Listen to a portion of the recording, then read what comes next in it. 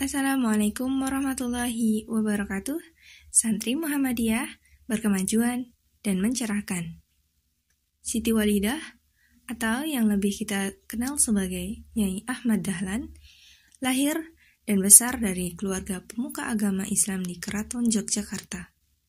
Siti Walidah tidak pernah mendapatkan pendidikan umum karena setiap anak perempuan di Keraton Yogyakarta harus tinggal di rumah hingga datang saatnya untuk menikah.